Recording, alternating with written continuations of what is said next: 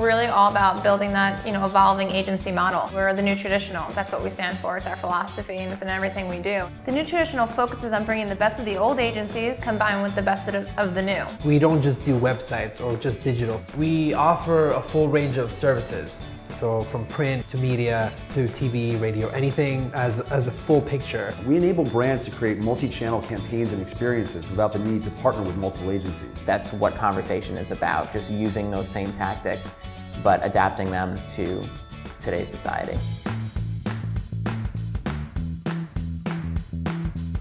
The office culture is, if I can say it in a word, um, awesome. We're kind of like a big family because we all goof around and joke around and really enjoy each other's company, but we work really hard and, and because we all like each other, you know, it doesn't feel like work. Being able to come to my boss with an idea for you know how to look at the agency and be able to give such input in terms of the direction we're going in and having that vision and doing it completely with you know the help of a colleague and you know a few other people around the office. We don't have to go through multiple lines of you know corporate politics to be sure that this person approves it and this person's on board, this person's on board. It's a matter of, okay, let's make it happen.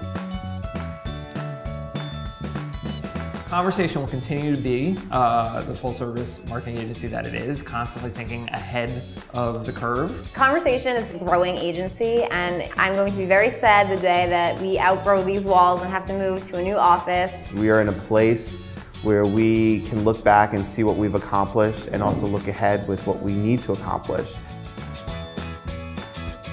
We have kind of just begun to hit our stride as an organization, and so the sky's the limit.